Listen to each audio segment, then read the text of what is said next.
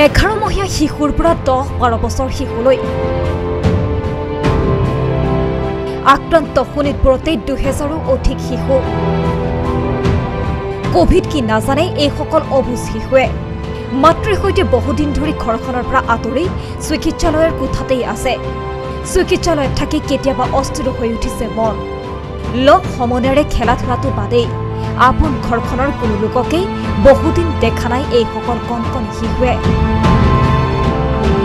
চিকিৎসালয়ৰ কোঠাতে আবদ্ধ হৈ এইদৰে কভিডৰ বিৰুদ্ধে যুঁজিছে শিশুসকলে। তেজপুৰৰ কভিড কেয়াৰ চেণ্টাৰত চিকিৎসাধীন হৈ আছে বাৱনগৰাকী শিশু। ভাল খবৰ কভিডত আক্ৰান্ত হলেও শিশুসকলৰ বাবে কভিড মাৰাত্মক নহয় বুলি ইতিমধ্যে শিশু বিশেষজ্ঞই সদৰি কৰিছে।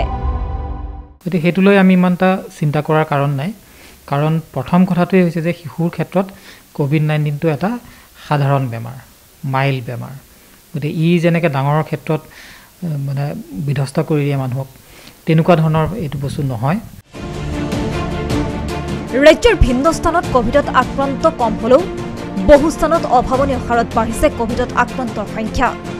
কভিডৰ প্ৰথমটো ঢৌত শিশুসকল অধিক আক্ৰান্ত হোৱা নাছিল যদিও দ্বিতীয় লহৰত আক্ৰান্ত হৈছে অভাৱনীয় হাৰত শিশু। অভিভাৱকসকল সজাগ নহলে অনাগত সময়ত ইয়াতকৈ ভয়ংকৰ ৰূপ ল'ব শিশুসকলৰ বাবে কভিডে। ভিডিঅ' জাৰ্নেলিষ্ট তিলক শৰ্মাৰ সৈতে Sangeeta Devi report N D twenty four.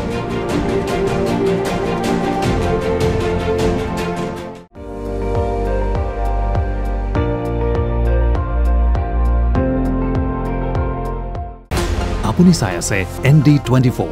সৰ্বশ্ৰেষ্ঠ নহয় সৰ্বোত্তমৰ দৌৰা